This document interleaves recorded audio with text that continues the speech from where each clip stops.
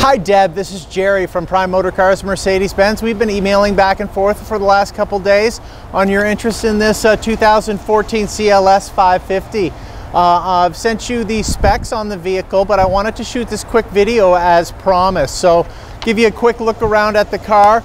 Um, excuse the snow, we've been getting quite a lot of snow. I hope you're enjoying it down in Florida because we've been getting hit and we're supposed to get hit again this weekend a little bit. Um, car comes with a lot of features as I, uh, as I uh, mentioned in, in, the email, so I'm not going to get too into the features.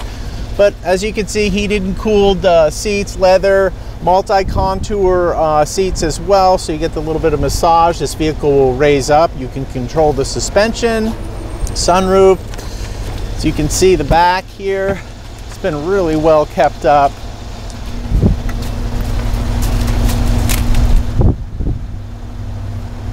This is the 14 CLS, so I did a little bit of research. It looks like the body style and everything was stayed the same. And in 2011, they went from the rear wheel drive to the 4MATIC 1112, and then in 14, they went to the full LED headlamps, which we talked about. That's the only real difference from the 13 and 14, as you requested. Uh, blind spot assist, um, pretty much comes fully loaded as you can see in the spec sheet that I sent you.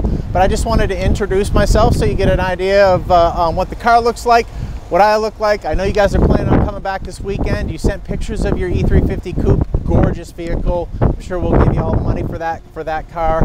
Um, would like to uh, see if you'd like to put a deposit on this car as it's the only one that we have on the lot. So hopefully uh, um, we can kind of discuss that to a certain degree. Deb, I really look forward to earning your business. And if there's anything else I can do, please let me know. My cell phone is 207 730 1763. Thanks so much, Deb, and have a good rest of your time down in Florida and safe travels back. Bye.